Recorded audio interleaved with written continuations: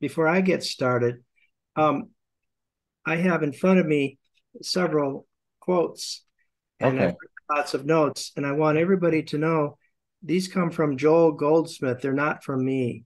So if it's from me, I'll let you know. But if it's a Oh. direct quote from one of his books, um, I'll present it that way. He wrote about 30 some books. I did not reference all the books. You're welcome to read, um, but they're in there. So I just want that to be known. And then, just by the way, Joel also studied uh, a lot of Eastern philosophy for many years. And then he had a student who became um, connected with him in and she became um, his private secretary and she transcribed so joel would talk and, and give a presentation to a group and then she'd stay up all night and type and so there's a lot of what are quote run-on sentences which sometimes drives me nuts but that's okay but he had a lot of help doing this so yes he did this beautiful message and the primary book is the infinite way so if there's one book out of all that joel wrote that would be the one that I'd start with. So if you're not familiar with Joel and you say, "Wow, what's this about?" Start with the Infinite Way. That was It's- also the first book, right? His main book. It's his, the it's his- first book was always the main book. yes, it's his flagship book, and um, I think it was published in 1948. Right. And he, um, anyway, so if you want a kind of Reader's Digest version of Joel, start with that, and then see where the Spirit takes you. So you start off in all of Joel's work of reading something first. And then as you learn to quiet your mind, you start to feel, you get a knowing, you feel a presence. It starts to become an experience. And the more you learn to relax into it, to quiet your mind, the more that experience flows through you and becomes your life. So that's Joel's message. So it starts off in text, you work with it, and it suddenly becomes an experience. It becomes, I think, to I know. I also have some more slides if you want to comment on them, Rod. Okay. Certainly. Here, here you go. You want to read it? I awaken in the morning with confidence, rejoicing in whatever work is given me to do.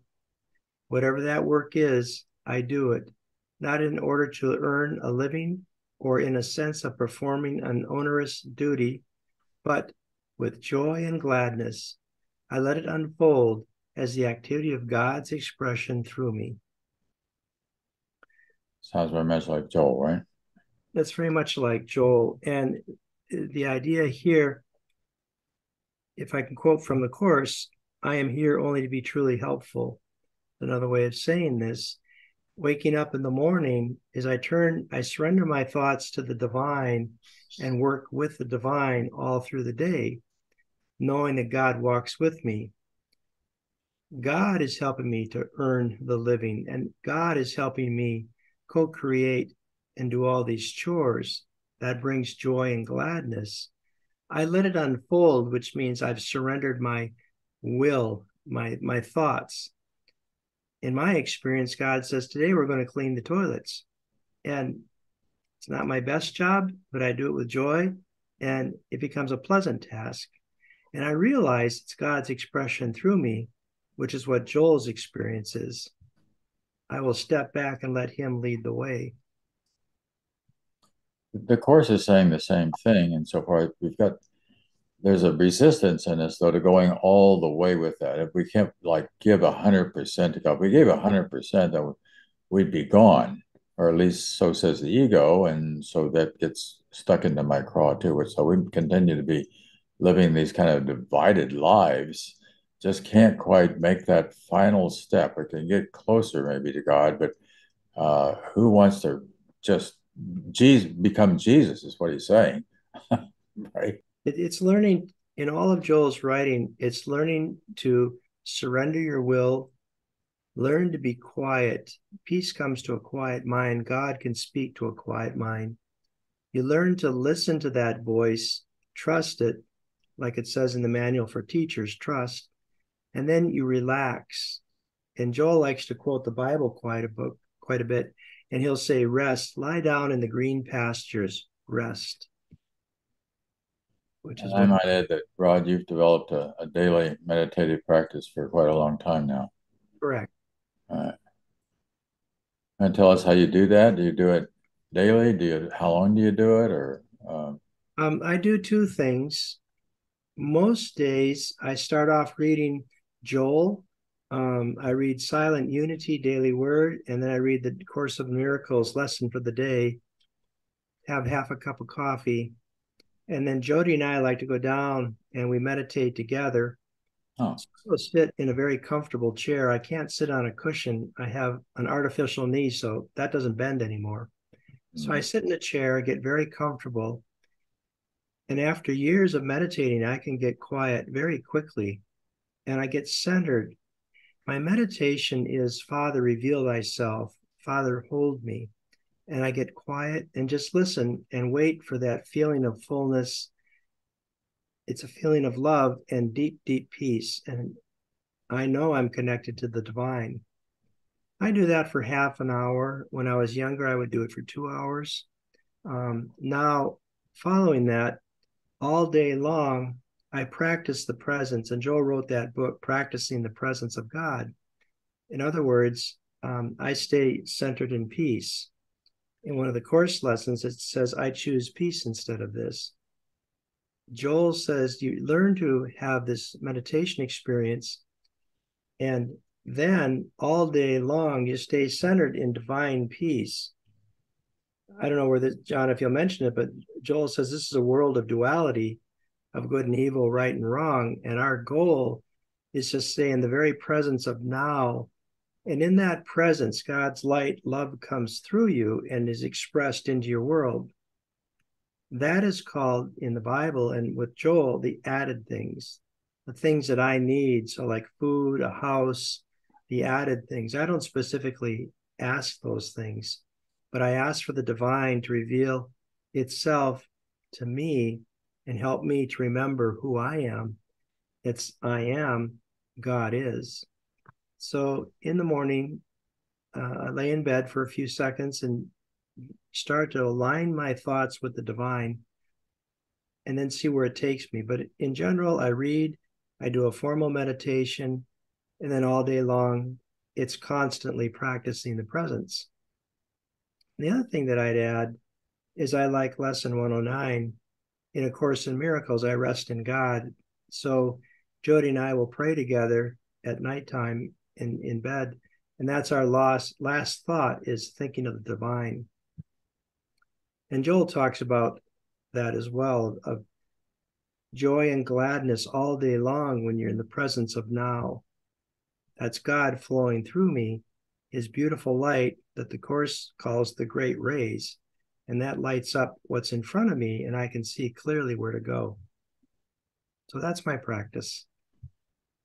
Now, you use, also use this principle, though, as a doctor when you were working with patients. Can you explain something about how you would become intuitive when it became time to get some suggestions from a higher source as to how to handle a particular patient, for example? It, the, the, the, the technique and method is always the same. It's just what I talked about earlier. Mm, so I've got a, a patient um, that's in cardiac arrest and going to die. And um, again, the first thought is panic and fear, and the adrenaline kicks in, everybody's running around. No matter what the appearance that your human eyes are showing you, Joel says what your human eyes are showing you is an illusion, a distraction, a form of hypnotism. What you have to do is learn to get really quiet I've got four minutes to save this patient's life. But it was my habit after I've read and practiced that you have to create a pause for God to come in and talk to you. But if you're screaming, do this, do that, God, nobody can talk to you. So for just a few seconds, I just say, Father, what should I do? And I get quiet. I learn to listen. And then very clearly in, in times of crisis, that voice is as audible as you and I talking right now. Do this medicine, do this medicine, do this medicine. And I do that. and suddenly the patient's alive. And there's times I've ordered tests, I've done very creative medicine, shall we say. and the nurses look at me with like I've got three eyes. But they don't realize I've got the pre- the Christ presence right here helping me and guiding me. And then the patient survives and they say, How did you figure that out? So I have lots of stories, but the bottom line is doesn't matter if it's a relationship, financial, a house, whatever the problem is, you have to learn to get quiet and release the divine that's within you. Joe likes to quote Robert Browning release the imprisoned splendor within your heart. Wow. Remove the prison bars that we put over ourselves. I'm unworthy. Uh, there's lack. I'm vulnerable. I have to get a job. Joel makes it a point you don't look in the outside world, but you always turn within. God is within. Change your thinking, allow the divine out, and the answers will always come. So I've never been let down, and many people are alive because of that practice. Mm. That's wonderful. Mm. I think it's interesting too that he didn't want to create a church. He didn't want to create a situation where people would be congregating and I guess gossiping and talking and engaged in ritual and that's sort of the really an exterior approach, a social approach. He's much more like a, a monk in that sense, really, really going deep into the connection. Yes, when he was he was studying Christian Science early on, it was very open, and there was really not much of a hierarchy to it as that church progressed and he started to write the infinite way um, a chasm developed and the church wanted more formality to it and formal lectures and formal hierarchy and joel realized that that was a trap to pull people out and to get approval through god i hmm. was raised catholic and i always hoped god was in a good mood when i went to confession because i know And uh, so we were taught that we're miserable sinners. And Joel says, no, that's not true. Look to the God that's within you. And that God says, you are a thought of love in my mind. It doesn't matter if you're evil or good, those are human concepts. When God looks at you, he sees love. And Joel is saying, learn to look at your fellow man with the eyes of love. Forgive the appearance, forgive the illusion. So having a church is going to add to the confusion, sure. to the mass hypnotism, and the illusion, and add to the separation ultimately. Right. And he says, no, turn within. Yeah, rather than going out, go in. Yeah, clear. Let's do a couple more quotes. This is a little fuzzy, perhaps. And I stuck a quote from Don Juan of the Carlos Castaneda series down the bottom, believe it or not, because it reminded me of it. It says, You are the universe expressing itself as a human for a little while. I want to emphasize a little while. You know, like back in the 70s and 80s, I was into the Don Juan Carlos Castaneda series. It says, For me, the world is stupendous, awesome, mysterious, unfathomable. I want to convince you, you must learn to make every act count since you're going to be here for only a short while. In fact, too short for witnessing all the marvels of it. It's only for a little while that we occupied this this dimension. You want to add whatever you like to that? oh, sure. Sometimes getting me to be quiet is difficult, but anyway, Joel wrote about this in a parentheses in eternity. And what happens is we are eternal beings. We come along and suddenly we have a concept that we're separate from our eternal self, our divine self. That's the first part of, of open quotes, I call it. And that forms kind of a loop, if you will. That's our life, just like that universe you're looking at. And eventually you die. Well, the body dies, but you don't. You become go back into spirit, you remember that I am a, div- a divine being with life eternal. So he, he wrote specifically that it's a parenthesis in eternity, and that's our human life, a, a, life of duality, separation. We need approval from the outside world. Some of us have a short journey and some of us a longer journey. But to God, there is no concept of time, but to us, there is. So Joel is saying, well, you're on this human experience and you are a divine being having this human experience. How about bring God into this? And instead of co creating with this insanity or the ego, we learn to co create with God. And a very, his primary message in the infinite way is I and my Father are one. Yeah. If you start to say that and let it become part of your thought system, yes, I'm having a human experience, but God is also helping me. It's very peaceful in a way too, isn't it? It's very peaceful. Yeah. It's um, knowing that the divine is going before you is like it's like a for me it's a sphere of love and i get into these situations and whatever comes at me gets filtered and cleaned by this white light this white light of love and i know i'm protected in everything and there's nothing to fear. Just the other day we were told this massive hurricane is going to hit maine. And you know mm. up to 120 miles an hour. And i was very calm and i would tell everybody no we're we're going to be safe. It's not a big deal. The hurricane blew right by us and went to nova scotia. Uh-oh. we had wind and a few leaves came down but that was it.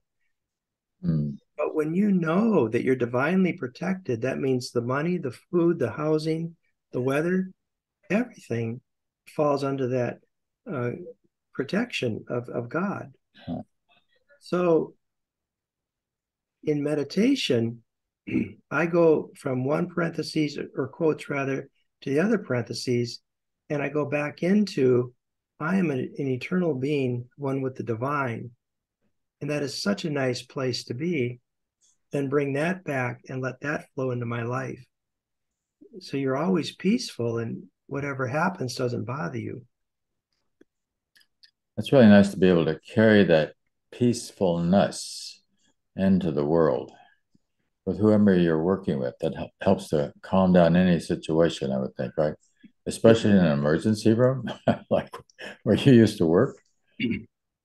The uh, nurses would, would just say, We love working with you.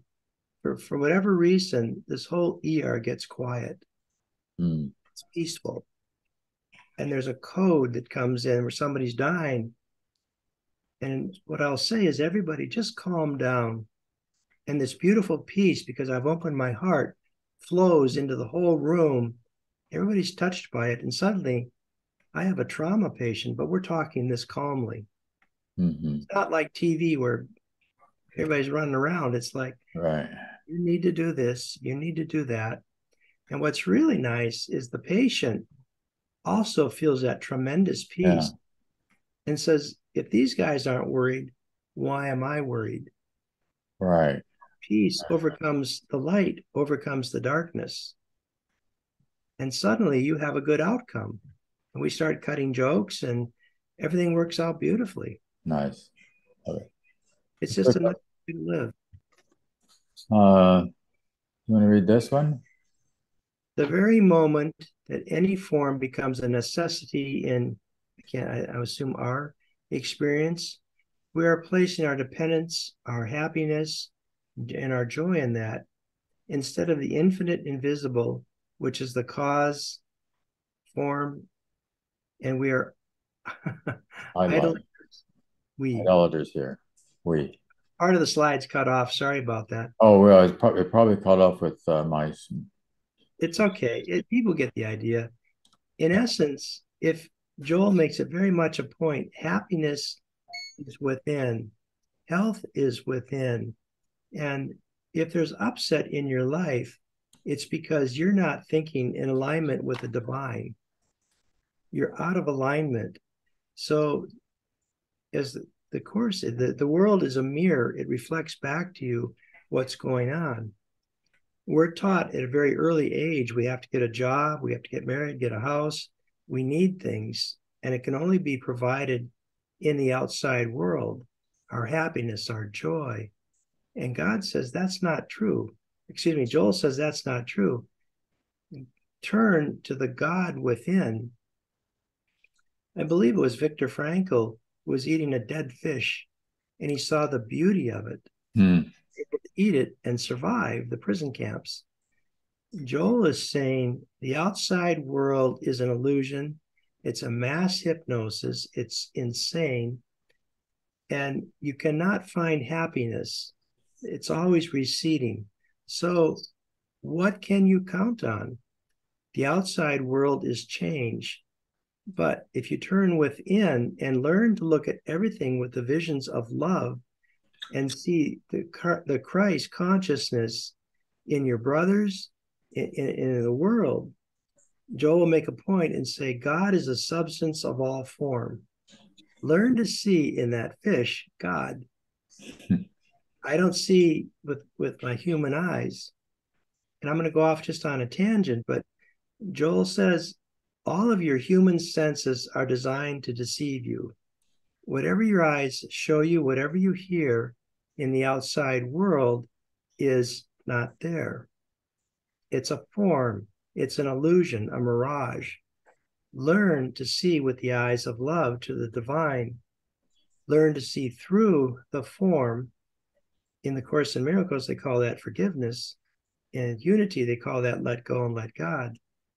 Learn to look through that. Don't be an idolizer.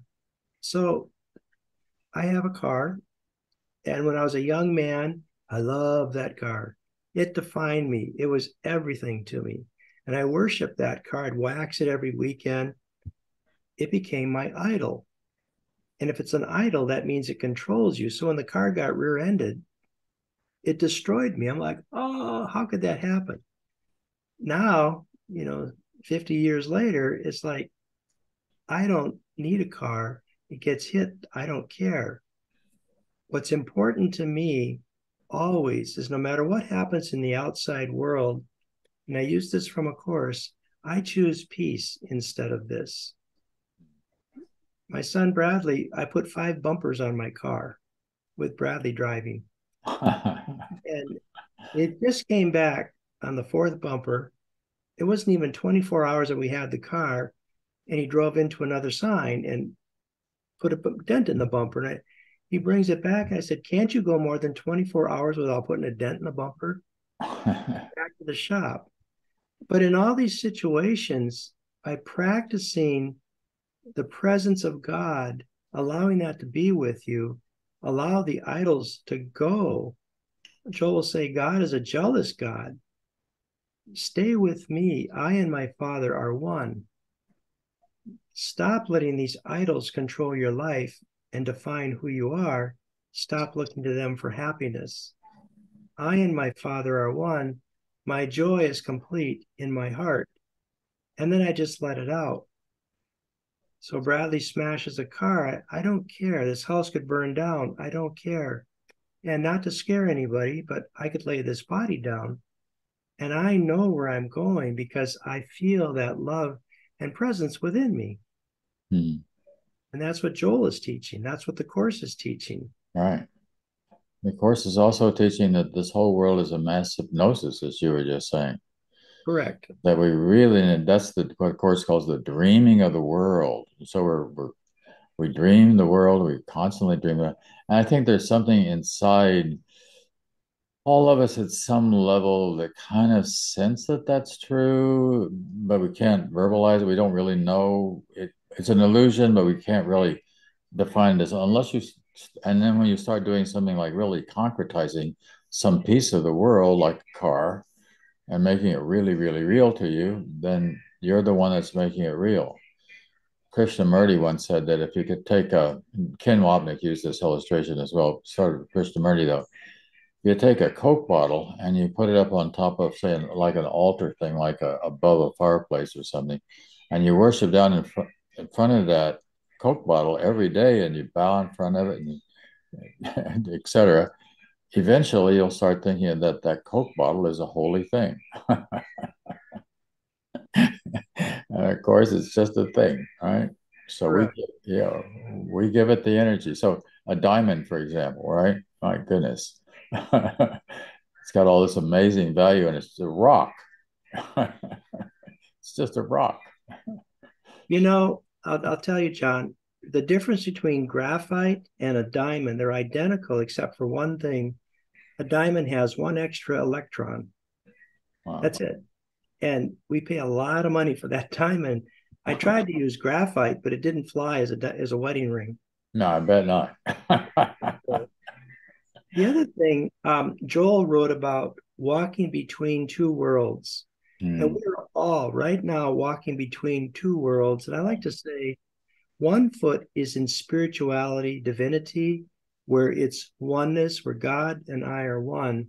And then the other foot is in the human world of duality, fear, darkness. God is light. This world is darkness. It's insane. And what Joel is saying is turn to the light. Hmm. Don't turn to the darkness. That's where the depression and the upset and all the problems come. But turn more to the light and let more of that light into this darkened light area that we're living in. Right. So it's another book. He's he's touched on a lot of subjects. Oh, got a few more quotes from Joel Goldsmith here. Um, well, that's so very, very brief, but that's just kind of a summarization of what you were just saying. Right? Correct. Yeah. And that um, Practicing the Presence is a book that he wrote specifically about this, where he said, God has to be our blood, our air, our body, and we have to let the ego die every bit, every day, a little bit more each day. We bring more life. And that God activity then becomes our consciousness. So we learn to look through the illusions. Tell you about a kind of a funny experience. I also lay in bed in the morning and meditate. And one morning I had uh, an extra load of things I had to do in the course of the day, and I was wondering how I was going to get through them all. And so I just put out to the universe, God help me. And I heard, help me. Back at you. that couldn't have been more clear, could it? All right. A couple more. But God is, go ahead. I was just going to say, God, I like to tell people with every heartbeat, that's God knocking yeah. at the door of your consciousness. And you have to learn to open that door to let Him in. Here's a quote from A Course in Miracles, which I thought was some similar to what Joel was saying as well about the body in particular. The ego, which is not real, attempts to persuade the mind, which is real, that the mind is the ego's learning device, and further that the body is more real than the mind is. No one in his right mind would possibly believe this, and no one in his right mind does believe it. So, comment on the rule of the body Joel's position. Right?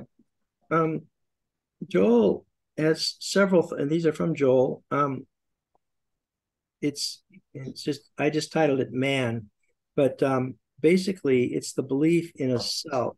that's a small s, s e l f, small self, which is small, limited from cradle to grave. Um, we are separate and alone. It's mental causes producing effects, a universal belief in a selfhood apart from God. And um, he also says we are the fallen branch from the tree of life. Um, so we need to learn um, that the body is not our true self. Mm. It's again another uh, illusion.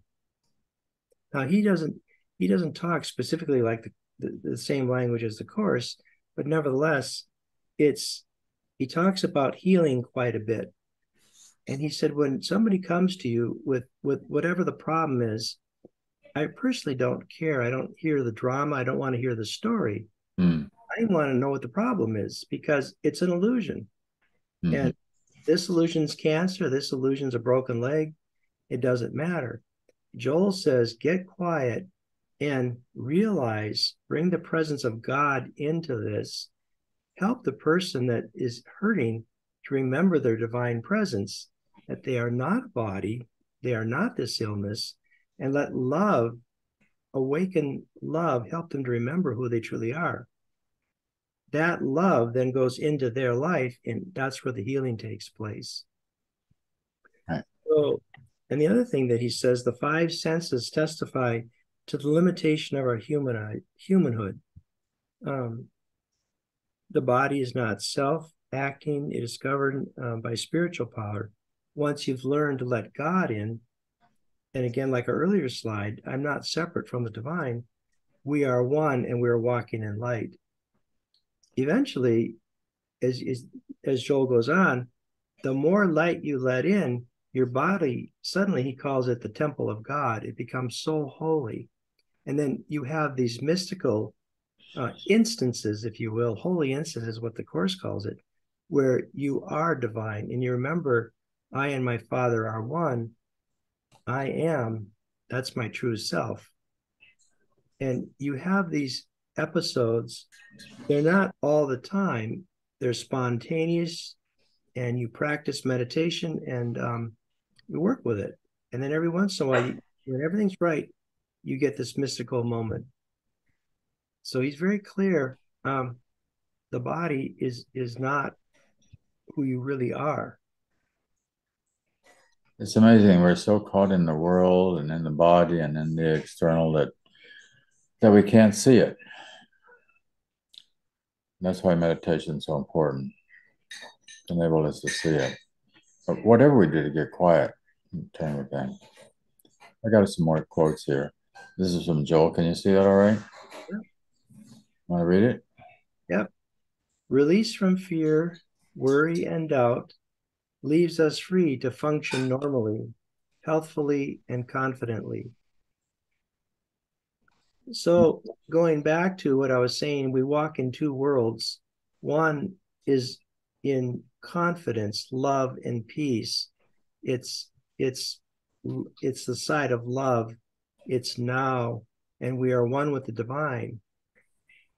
As we step into the human world, where it's crazy, insane, or hell, whatever you want to call it, we get entrapped with fear and worry and doubt. How am I going to pay the bills? Oh, I've got cancer. And that darkness pulls you farther and farther and farther into more darkness. Now I've got to see doctors. They add their fears and worries. You get on the internet and go, oh, that's it. I've got two years to live. And Joel is saying, stop. Stop that whole process. Turn like the prodigal son, stand up, turn to the light, and walk home to God. That's what right. he's saying. As you do that, you start to let go of the fear and worry and doubt and trust that the divine is going to take care of you. Suddenly, as forgiveness is forgiveness is the key to salvation, and then salvation leads to joy. So this is the same thing. Release, forgive, worry, and doubt, that leaves us to function normally. I get to choose light or darkness. And the more I choose light, I gain health. And that's health in all areas of my life. The farther I go on that path, I learn trust. So I start off with my faith, like my little bit of faith. And the more I walk and the light gets brighter, the more I connect to the divine, my confidence grow until finally you come to the place of I know. There is no more doubt. And the world's on fire, and it's like I see through that the illusion, and I see that the divine is beyond that. That's the forgiveness seen through the illusion. And that's where I'm going. I think it's interesting. Uh, we're currently studying the 50 Miracles Principles in the ongoing class. And the, we'll be on number four this week. It says miracles are natural when they don't occur, something has gone wrong. So we've kind of got everything kind of backwards, but the natural part we're not even seeing. And yet it's there in everybody to be seen. how simple it is, right? That's Jesus saying, I am the Father are one again. It is. On to that. But if I can from a medical point of view, our body At one time, we were all part of the food chain. Mr. Sabretooth would come along, and my body's designed to kick in the adrenaline and to run. That's a built in defense. But the concept of sitting down and meditating and to be peaceful is is a learned uh, part of our we have to learn that and it's, it's in the front part of our brain but that's not natural to our bodies our bodies are always attack and defense so we have to learn peace so right. when the saber tooth comes you don't sit down and meditate right. normally you get up and run at least i yeah, would right normally let me do a couple more slides then we'll break and have uh, people begin to come ask you questions, Rod. Okay. So you govern your surroundings. You govern your surroundings by the nature of what's taking place in your consciousness. That's Pretty much what you were just saying. Right. The lesson on Saturday was you are responsible for all of your thoughts, and you are responsible for what's occurring in your life. Your thoughts are governing your surroundings, and and that's that is whatever your thoughts are are expressed in your life so whatever you're thinking about in your consciousness i'm unworthy there's lack i'm vulnerable. Those are the three uh, primary ego uh, concepts. And any of those says so, so then what happens is i feel lack. Then i don't have enough money to pay the bills there's not enough food. So your surroundings are nothing but a reflection of what's going on in your mind. And Joel says, You're responsible. And I think it's it's your favorite quote. What is it? Chapter 21. I am responsible yeah. for for everything. And Joel yeah. says the same thing. It's just that he uses a slightly different language. Mm-hmm. At the same time, that's true. It's also we're responsible for our the all the projections we throw out into the world there with this ego complaining and fault finding and God Almighty, that gets us into a lot of trouble. If that's what we're seeing, we are what we see, right? right? It's like you are what you eat, or you are what you see. well, you have to have a filter. And remember, and Joel says this your senses are all designed to deceive you. Yes. And so let me ask you why why do we have two eyes and, and, you say well they're separated by one and a half degrees and the reason you have two eyes it reinforces depth perception. Mm-hmm. i can see i can see the back i can see the front say oh they're not the same. That's separation. If you mm-hmm. close it and make just like one eye everything's flat and i can't distinguish. So your senses are constantly lying to you and it takes practice to say okay i got to look past that. We don't know that. On the on the surface of the things we don't know that. That's why things like joel and the course are, are so helpful is to help us to understand why we see what we think we see right? yes. Well there's two more, two more. Here's another slide. Okay. You want to read it? Let us have no addresses to which god's grace is to be sent because God is not interested in one one person more than another. Yeah. So God, if you want, think of it, um, God is like gravity. God doesn't care if you're rich or poor, um, what race you are, if you're evil or good. So a specific address God does not understand. God says, when I look at you, I see love. I see myself. When I look at you, I say, oh, you're in New York. And, but I think you're in California. See, we look at specifics, but God says, I look at all of you. I don't see where you live, but I do see me in you and you in me. We are one. So he's not interested in one person. Going back to gravity, you don't see gravity loving some people more than another. You don't see people who are bad floating off the earth, do you? you don't see people who are good getting slammed into the earth because gravity really loves them. We're all treated the same, and that's God. He's impersonal. you are a thought of love in the mind of God. Just think about that. And that being said, you are still one with each other and you're still one with God. So eventually, here's another analogy you have a bucket of ice uh, water, and all these ice cubes think they're separate. They've all got different addresses, different bodies. Well, eventually, in time, as the warm gets warm, as the room gets warm, the ice melts. You're all still there, but where are you? The ice cubes are gone. You've returned to your divine source. That's what God says. God says, I am the water. Right. That's a great analogy. Thank you. Yeah, one or two more here. I think did did you talk about this one already? Um, um, we don't use God as a power. We don't pray to God to destroy our enemies. Uh, let's see. No, I can't read it all. We, but basically, Joel is saying, I don't pray to God to win the football game, or I don't pay for money. I don't pray for anything specific. The prayer is always, Father, reveal thyself. God does not understand specifics. God has one word, and that word is love. In the human world, we have millions of words. God says we are all one. In the human world, we're all taught to go outside of ourselves and pray in church. And I was taught, you know, you want to get good grades, pray for good grades. And if you're really good, God's going to reward you. Hmm. And Paul says that's not true. That external God is not true. The divine is within you. The divine knows what you need before you know.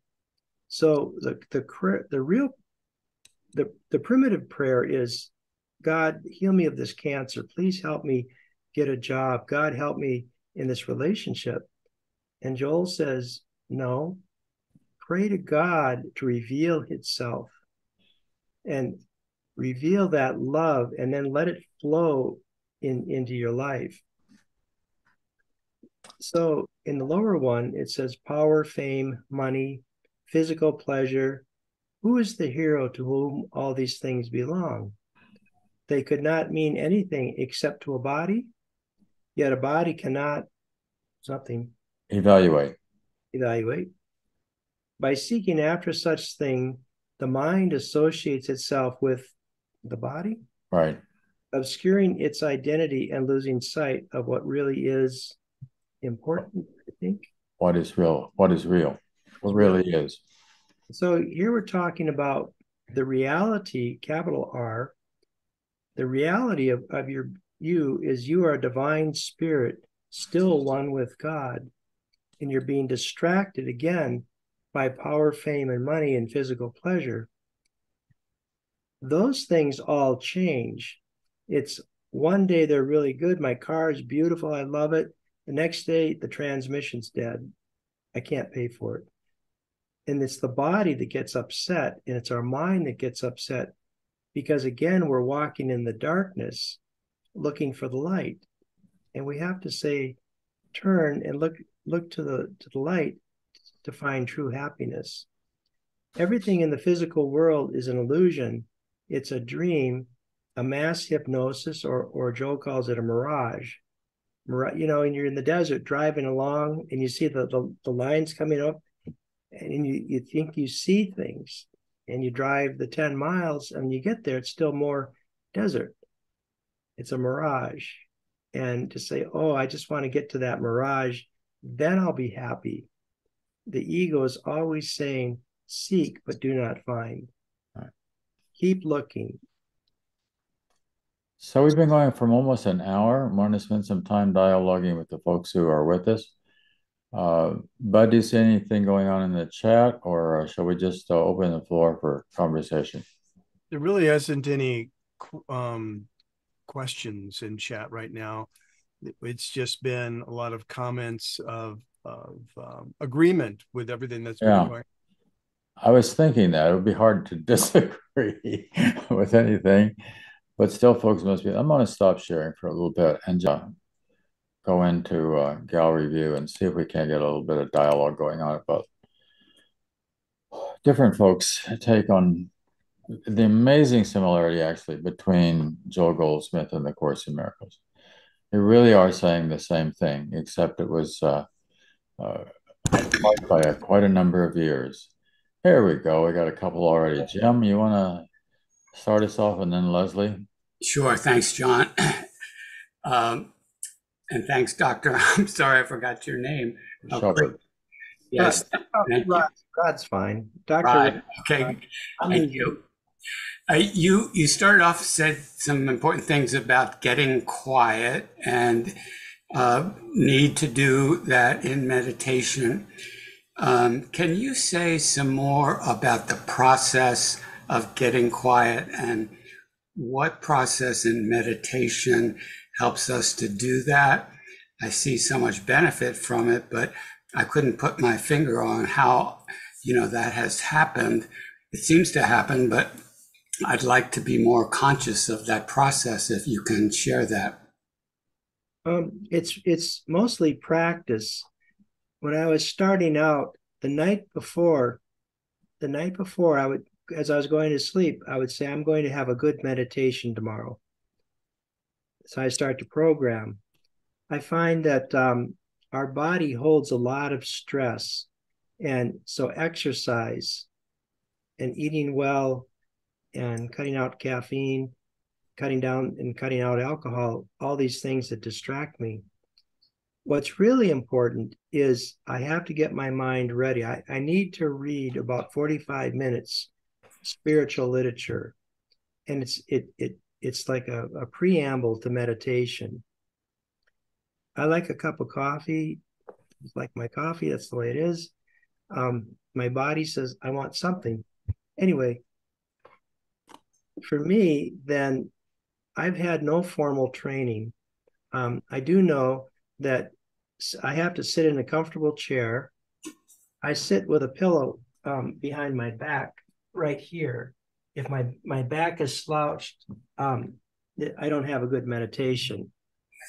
Sometimes I stretch. I do a lot of stretching if I'm tight and anxious for whatever reason to, to kind of burn that off.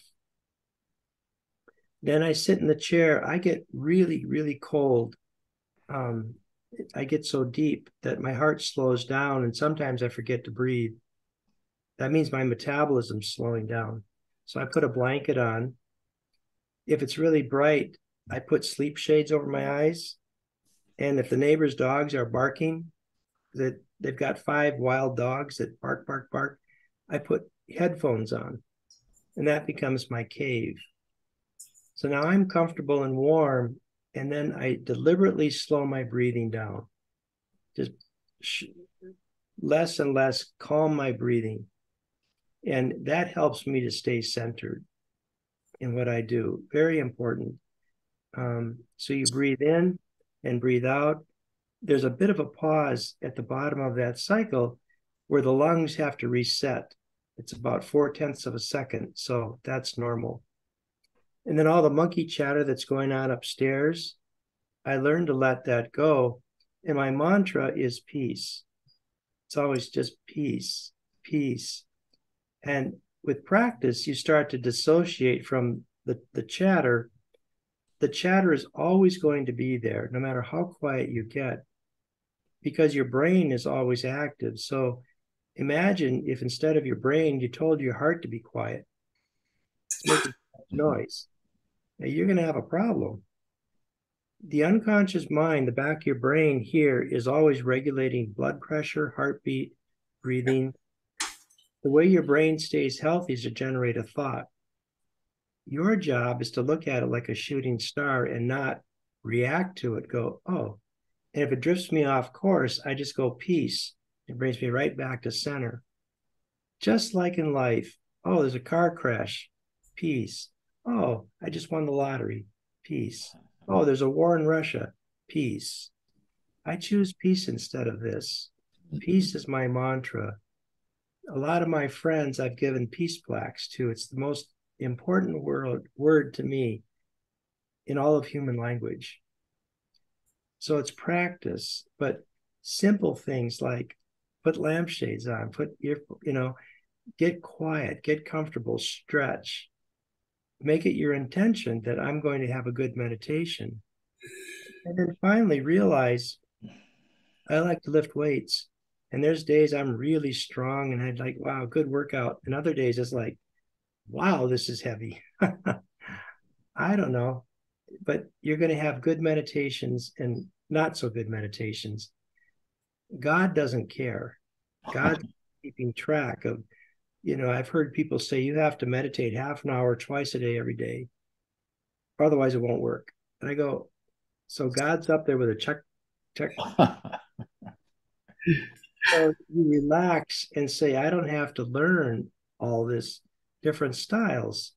I'm going to play with it. And finally, Father, reveal yourself. Teach me. Let go and have no expectations and just sit. Thank you very much. Very much appreciated, Dr. Ryan. You're welcome. You're welcome. I see that we've got a couple of doctors with us uh, besides Rod here. How about Dr. Leslie? Wanna come on? Or I guess good afternoon where you are. Hello. Rod, good to see you. Um,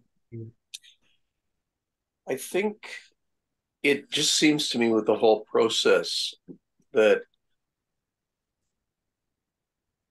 in times of crisis or even not in times of crisis, for me personally, the willingness is am I just willing to listen? Mm-hmm. If something comes up, if that sense of discomfort comes up, can I just stop and just listen? I had an experience almost 40 years ago where I remember going into a room and somebody was very sick and I just froze. And it was a it was very uh it was very uncomfortable experience. And then afterwards, when I just had a little time to reflect on it, what I realized was just learn the process that will allow me to just slow down and just to listen and then work forward. I mean, I think sometimes for myself, what I found is that the process of learning is not the stuffing in as much information as you possibly can, but it's more a case of finding a method that works for myself and for each one of us where we can just slow slow the pace of things down enough that we're just willing to listen.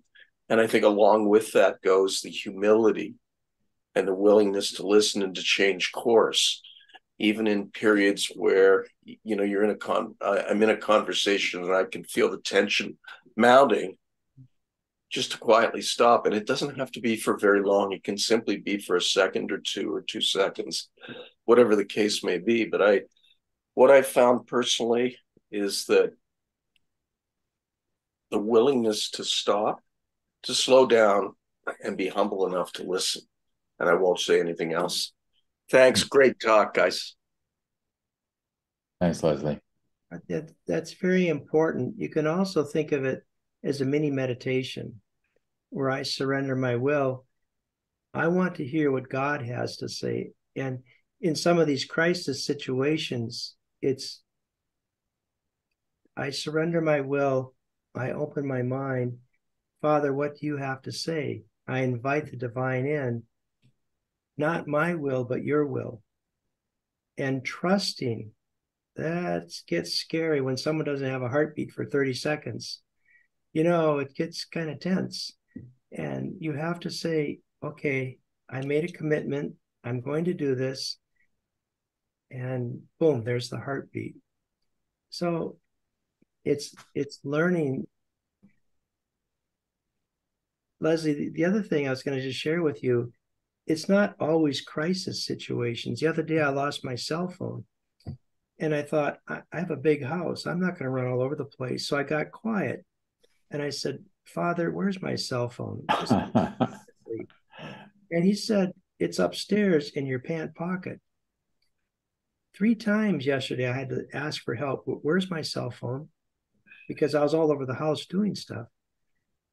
But you learn to get so comfortable with that the humility, learning to, I got to quiet my, stop that monkey chatter in your mind and learn to listen. That means I'm going to get quiet. So think, I'm going to have a little mini meditation and just listen.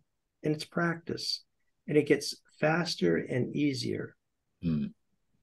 I've also learned to take it from the crisis situation and apply it to everything in my life, especially like you when I uh, occasionally, well, actually more than occasionally lose stuff. And I just say, okay, I don't know where it is. Uh-huh. Let's just listen. Thanks.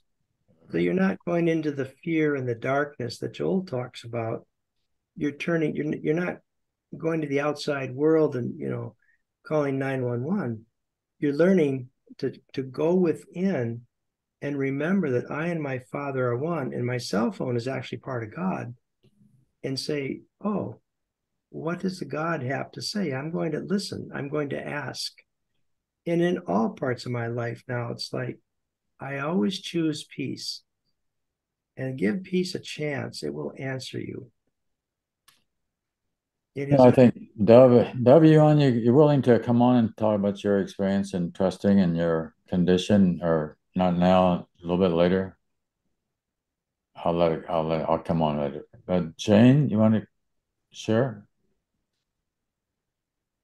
Thank you. Um, yeah, my first question was I have such hard time with stillness, and you've already spoken about that very nicely.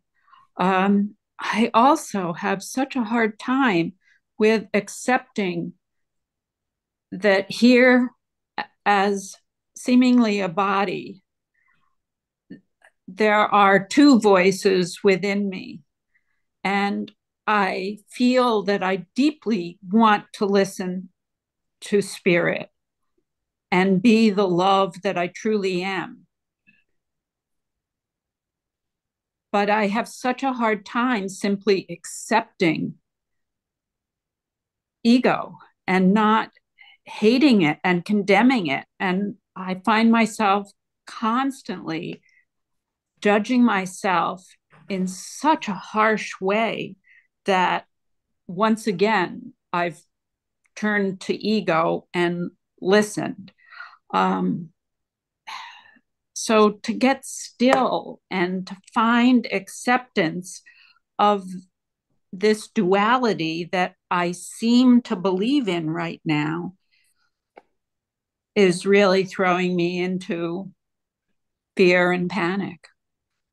Yeah. Well, first of all, you should all know that I self diagnosed myself as having divine schizophrenia.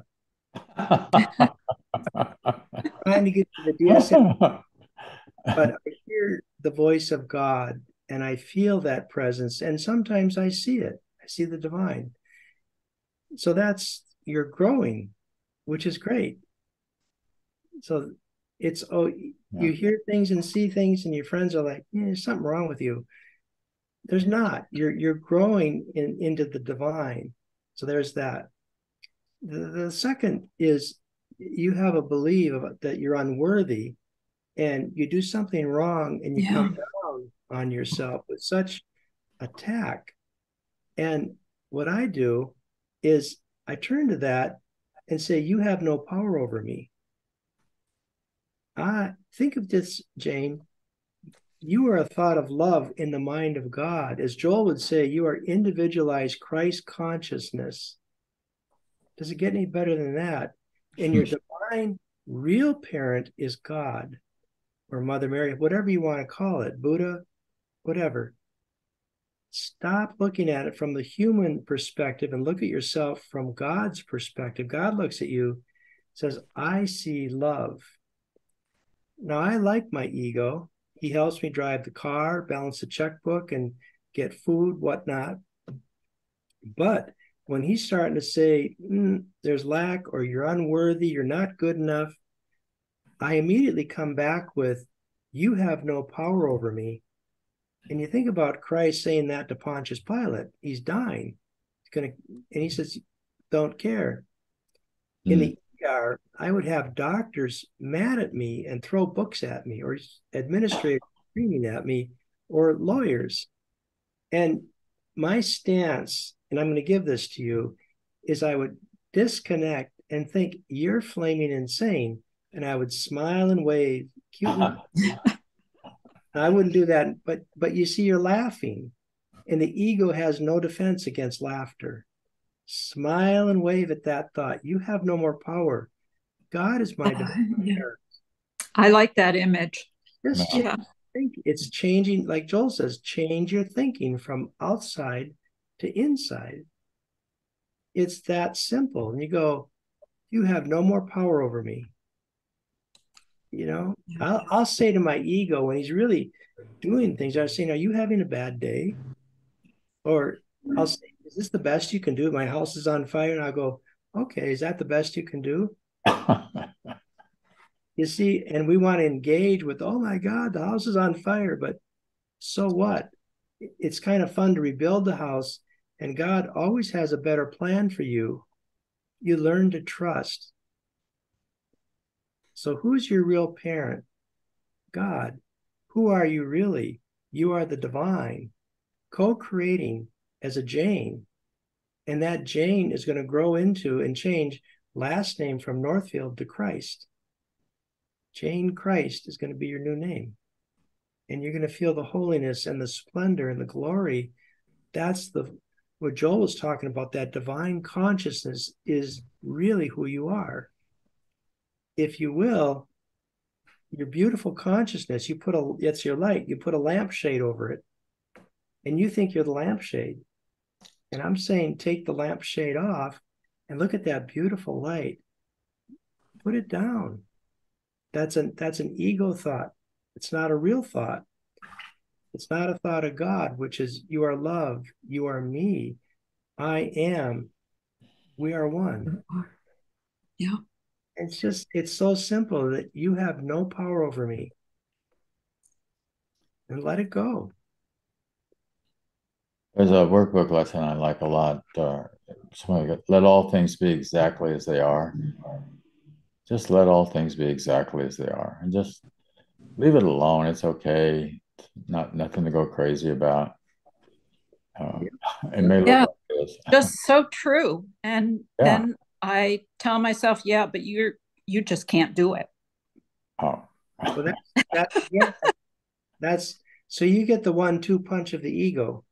You get the yeah. second punch, and then you're going, you're really then you get the second one. You're not, you can't do it. You're not strong enough. The only power, as Joel will say, in this universe is God. Right. And you have the power of God within you to create, to co-create. So start co-creating with God, and and the ego is going to go down, and God's going to go up. Die a little ego death every day, as Joel will say. Yeah. And that means smile and wave, cute and cuddly. You know, you're a horrible person. You didn't pay your taxes. You didn't give money to this homeless person. Okay. God's going to take care of all that. And you're going to say, I'm going to let love come through me and be like the the, the, yeah. the child holding the hand of God, and God's walking with you. And says, God says to you, You're my holy child in whom I'm well pleased. I love you because I created you in my mind, in my image, and I gave you the fullness of heaven. Everything I have, you have. So who's limiting you? Like, oh, I yeah. can change my mind from darkness to light. It's just my ideas. It, it's just an idea. There you go. And yeah, no, I want to walk the path of God. Yeah. That's every morning. Yeah. Show me the way. Exactly. Thank you. Thank course, you. Of course, we'll say you were taught poorly. You got to unlearn this world. Right. It's insane. Right. So step out of the insanity into the light. It's really about learning how to be a co-creator, isn't it? Mm-hmm. Yeah. And God loves Corvettes and He loves woodworking And God loves building houses. He loves relationships. The damnedest thing. He loves everything I love. It's just, Wonderful. so Thank you, thank you. think of it that way. Let's go to Lynn Johnson. Lynn? One. There we go. Hey, good morning, everybody. And uh, hi, Jon, Hi. uh, welcome, Rod. It's so good to see you. Um, so, yeah, I actually first heard about, uh, I mean, I had heard about Joel Goldsmith, but not really about Joel Goldsmith for, uh, you know, I didn't really look at him. Uh, but uh, from uh, Vicky Poppy and her sister Noreen and brother-in-law Harvey, and you know, I, I didn't realize that um, Joel was contemporary, that he lived when I was alive and was here in this world um, uh, doing this amazing teaching. But I started listening. I, I, I didn't really read uh, that much because I'm visually impaired. Uh, so reading is really difficult for me. But I started listening to Joel and listening to recordings of Joel. And um, um, oh my gosh, hours upon hours upon hours of that voice, that good morning, you know, the way the way he speaks and the way he says words like consciousness and you know, I can't obviously sound like that, but um but I as I listened and and realized it was almost like I was hearing the same words that I heard in A Course in Miracles. I mean, it's the same exact teaching as A Course in Miracles, uh, with maybe a little bit of a different emphasis because A Course in Miracles, a uh, big part of the emphasis is on joining with your brother and and uh, doing things with you know with with you know with your brothers. But um, but you know, Joel kind of correct me if I'm wrong, but it seemed like it was much more of an individual um, uh, thing, not so much of a big group think kind of thing. But um, but the thing that really fascinated me about Joel, uh, many things, but the was that he was a healer, and um, and and that he could heal you know people at a distance people that he didn't see people that he didn't even know. He might have just read a note about them or just heard heard something. And he could connect with them and shift apparently it has to have been a shift in their consciousness um, because uh, people would actually be healed from some serious illnesses and some severe situations um, and so I was really fascinated with that. How did he do that? And, you know, going through the Course of Miracles and looking at how does healing, how does healing occur? And, you know, I recognize that the actual healing comes from the, uh, the recognition of our connection with our source by actually recognizing our connection with our father our source um, that actually brings about healing because we are no longer um, caught in the the um, the world of form, but actually acting and reacting from spirit. Um, and um, the other thing that I really came to understand, and you know, I see this so much now, um, is that God is in everything, and everything is God. And so these sick people that you think you're seeing that's god and and that's god and and or you know everything. My computer is god. Uh john is god. Every everything is god because what else could it be? And if god is everything and everything is god then love is everything and everything is love and so the love that i experience for you is is my our connection with with with Holy Spirit and with God. And so I know you're talking a lot about the stillness, which is very important, meditation, which is very important, uh, centering yourself so that you can be in that state without panicking or being afraid. And so um, so much of what you've been saying so far, and uh, uh, everything that you know we has been shared has been so helpful to me already today. Um, and I just wanted to con- connect with you on that and to let folks know. Uh, I'm going to throw in a pitch here that we are doing a Joel Goldsmith Living the Infinite Way group on ACIM Gather, which is our uh, radio uh, program, mm-hmm. Uh, chat room and radio program that we have um, every Friday uh, at 11:30 Eastern time. So um, if anyone were wanting to join that group, uh, they could contact me, and I'll put my email address in here.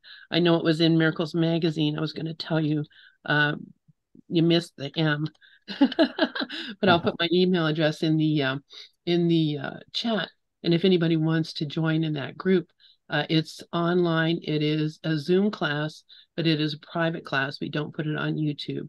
And uh, people are welcome to come and share living the infinite way with us. So thank you for letting me share and uh, blessings, blessings, blessings. And okay. tell your beautiful wife, Jody, I said hello. Okay. all right. And I'll mute myself and, and uh, let, let the other Lynn, our Brooklyn, come on. Before we're doing that, uh, Gloria, you're facilitating in that too, are you? You want to just? Yes, I am. Yes, I am. And uh, that's beautiful. Thanks for sharing that, Lynn. Um, yeah, we basically on the fourth Tuesday we are having a reading of Elizabeth Parker's book, which is an introduction to Joel. We do that on YouTube, so there's no discussion. It's afterwards when we close the meeting. And on Fridays we started with Living the Infinite Way, and uh, it's adjoining. We do discuss it and share how it's it's really more of a comparison of the two teachings and not a contrast of mm. them. So we're bringing together what ACIM and the Infinite Way both share in common, which to me is everything, as I studied both for 30 years and both of them are my life. So, uh, that, and I really love what Lynn said. And the idea is what we recognize is it's we move into our consciousness. Once we recognize the presence and we're in that state of the presence, our projection ceases to be. The ego pro- projection stops. So all there is then is the love of God. And like, oh, Rod, I, you did an excellent job today and so beautiful. And thank you so much for this. It's absolutely wonderful. Thank and I appreciate everything you said. And I agree with everything you said 100%. Thank you. Oh, well, I've got Joel right here, and he says thank you too. So that's the truth, by the way. He's he's one of my spiritual guides. So going back to Lynn, just for a second, Joel in his writing says God is the substance of all form. So no matter what you look at, you say, I see those books behind Jon Mundy. If I look deep into that and say, but that's God. Everything is God. Joel was was uh, first started teaching quite a bit, and then people would come to him and say, "Will you heal me?" So Joel's thought was, again, I mentioned this. I don't care what the illness is. My job is to hold the light, and the light is I and my Father are one, mm. and I'm going to hold that light for you until you get to see it, and our consciousness accepts that. Once that light and you you've accepted it flows into your life, any form of darkness is healed. It hmm. has to be because you're now changing your consciousness from darkness to light. So the appearance in the world changes. That's how it works. He was very good at it. He was very good at it. And the people that that um, he had a very high, high success rate. It was like the woman who, who touched the hem of Christ and said, if I could just touch his hem, mm. I'm going to be healed. So Joel's teaching to groups of people that already, you know, say, I get a feeling about him. I already open it. If I can just touch him, I'm going to be healed. You see, so they're primed and ready to go, and they're healed. Hmm if if I can share some personal stories, um, I had three cancers. I had colon cancer, testicular, and kidney cancer. All of those are lethal. And I made the decision when the doctors told me, you know, got some bad news for you. you've got cancer, my first thought was, this is not real. This is not the truth. My next thought was, I and my Father are one. I am divine love. This can't hurt me. And so, yes, I had surgery. That's called being normal, common sense. You got cancer, get rid of it. But then God said, You don't need any further testing. You don't need chemo. You don't need radiation. That was in 2000 and 2014. My intention is, and my belief is that I am divinely protected. The ego is always throwing things at me. I don't care how I got the cancer. All things are lessons God would have me learn. I learn this is not real, and I'm going to forgive this. And I'm mm. going to let divine light come in and take care of it and go, it ain't my problem. Mm-hmm. God's going to take care of it. Yeah. Lynn and Stephen. Lynn? Wow. Namaste, my beautiful, beautiful, beautiful, mighty companions. Um, thank you so much for your love. Oh my God.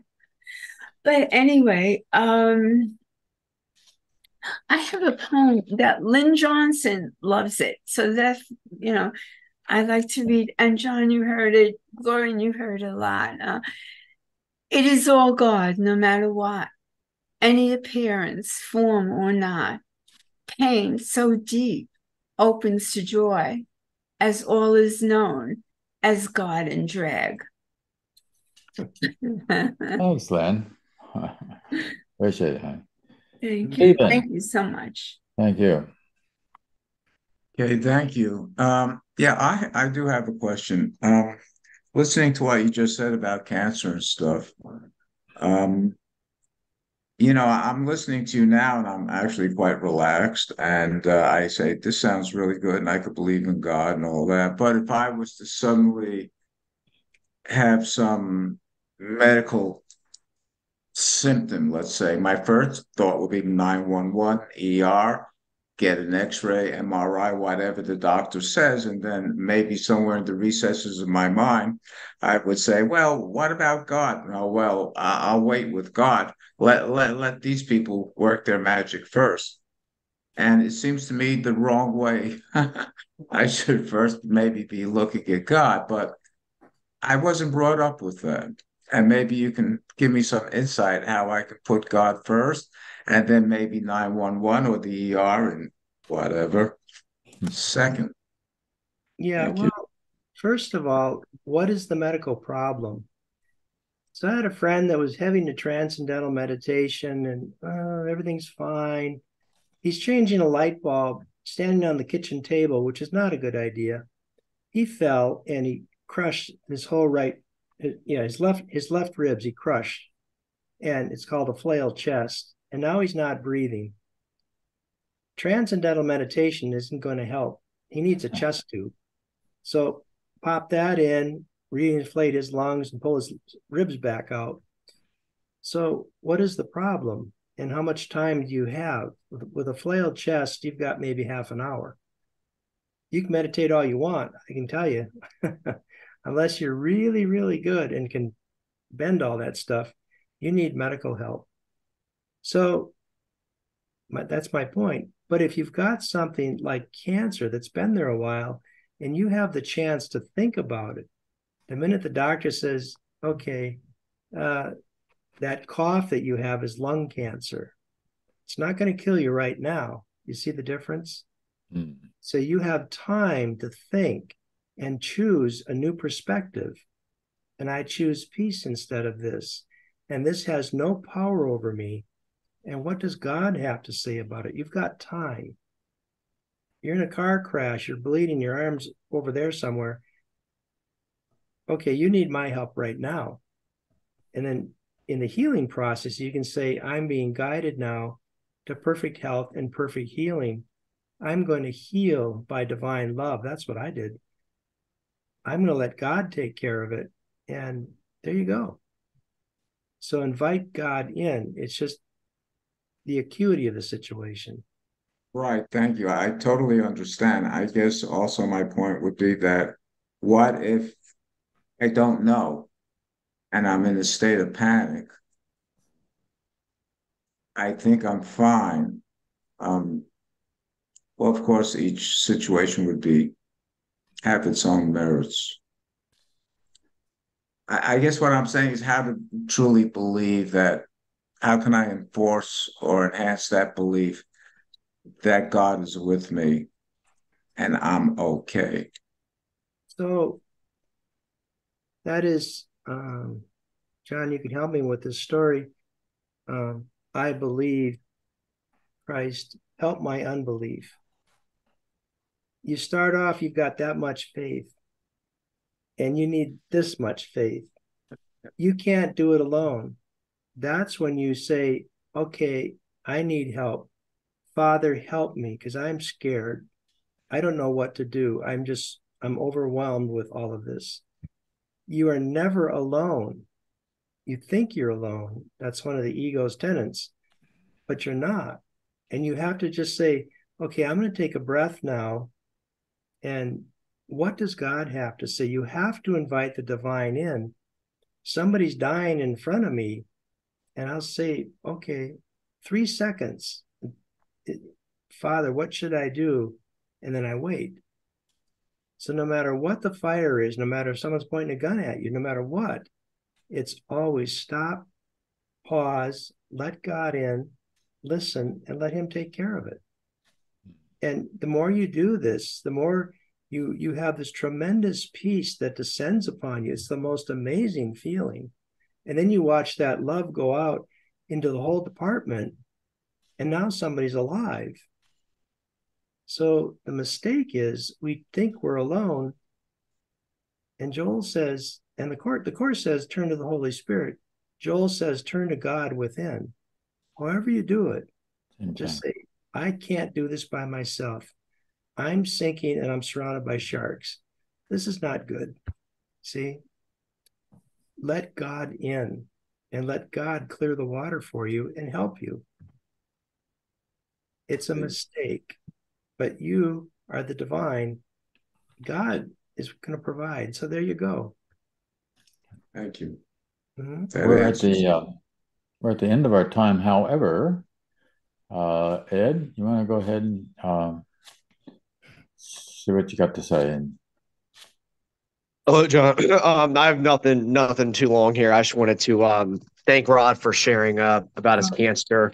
Um, and I was introduced to Rod through a um, YouTube video he did uh, with Alex uh, Ferrari, I believe, um, earlier this year on the Next Level Soul podcast. Mm-hmm. Um, so, uh, Van, I've sort of emailed Rod back and forth. So I just wanted to uh, thank Rod in person for uh, being a blessing. And um, this is so you you know we've been exchanging emails back and forth, Rod. So that's this is this is me, and uh, um, and uh, just want to thank you again, uh, Jon. So I know we want to be be mindful of uh, uh, the time time limits and uh, be mindful of everybody's time. So that's uh, just thank thank you guys. So Thanks so much. Thank you. Yeah. Well, thank you all for being here, and thank you, Rod, especially for. I always appreciate Rod's calm ser- serenity, easy voice, easy approach. It just uh, it, it's another way of working itself into your soul, and you think, yeah, he's right. You know that that's the way to do it. Mm-hmm. Um, and having known him for 10, 12 years, I know that he knows. so thank you very, very much, Rod. You're welcome. It's been a pleasure to to be able to speak and help people and understand. So it's great. Uh, so we always close with uh, reading the Lord's Prayer from A Course in Miracles. And uh, of course, I think one more time, our birthday girl. Uh, for those of you who don't know, uh, Lynn turned 70. so we're gonna let me get it on screen. The Lord's Prayer from A Course in Miracles. Forgive us our illusions, Father, and help us to accept our true relationship with you, in which there are no illusions and where none can ever enter. Our holiness is yours. What can there be in us that needs forgiveness when yours is perfect? The sleep of forgetfulness is only the unwillingness to remember your forgiveness, and your love. Let us not wander into temptation, for the temptation of the Son of God is not your will. And let us receive only what you have given, and accept but this into the minds which you created and which you love. Amen, amen, amen.